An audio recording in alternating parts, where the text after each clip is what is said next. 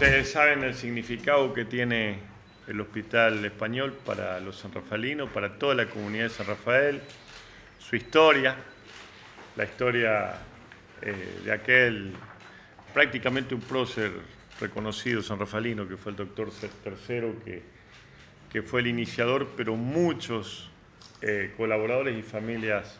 sanrafalinas que aportaron para que el Hospital Español hoy, que tiene una rica historia en su trayectoria, ha sido realmente una posibilidad de, tenerlo en cuenta como un ejemplo, como un modelo de crecimiento importante. Hoy charlábamos recién con las autoridades eh, aquí del hospital, de la manera que han ido creciendo, de la manera que empezaron, eh, de, toda la inversión que han hecho en tecnología para, para mejorar las prestaciones médicas y, y también los sueños y los planes que tienen en el mediano y corto plazo. Hay un proyecto para adelante, que eso es, lo importante, de, aún mayores mejoras eh, para, para, la, para, la, prestación médica de, toda la comunidad de San Rafael. El Hospital Español es considerado por la comunidad de San Rafael eh, un, un, ente público prácticamente, y no lo es, pero, pero al ser de una entidad intermedia que no tiene fines de lucro, es como si lo fuera. Así que es, aún más valioso todavía porque es una entidad que no tiene fines de lucro y que presta un importante,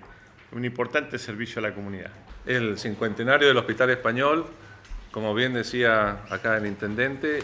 fundado en 1968, el 22 de septiembre. Este año es el 2018, el año del cincuentenario. El hospital viene realizando acciones eh,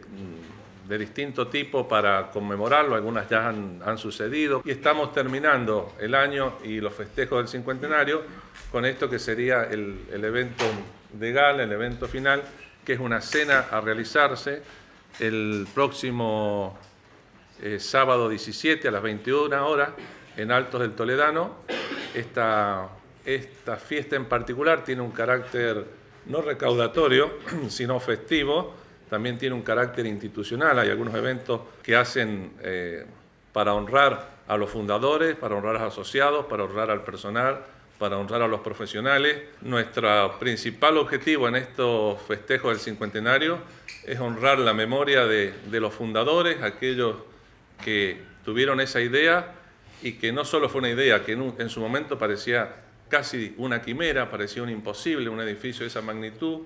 eh, en esa época, con qué sentido, y realmente a través del tiempo ha ido brindando cada vez más y más servicios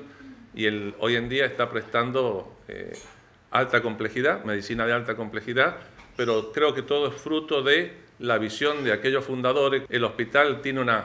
alta pertenencia en la comunidad, como bien decía el intendente, es una entidad intermedia, se siente muy identificado con el pueblo y el pueblo se siente muy identificado con con nuestro hospital. Respecto a, la compra de las entradas, eh, se pueden hacer en tesorería del hospital, de lunes a sábado, de 8 a 12 horas. También se puede hacer a través de la página web del hospital, eh, se puede hacer compra electrónica de la misma.